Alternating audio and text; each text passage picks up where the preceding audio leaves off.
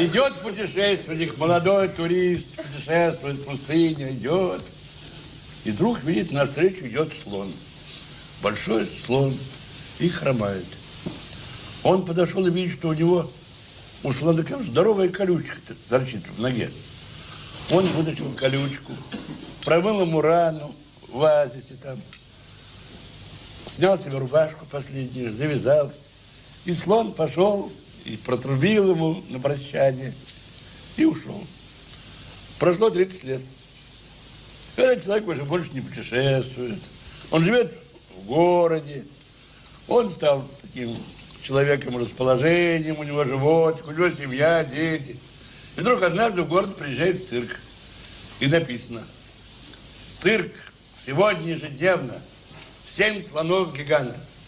Они пришли, сели на свои места, сидят в цирке, идет программа, и вдруг объявляют семь слонов-гигантов. Они уходят, слоны, делают круг, потом начинают делать пирамиду.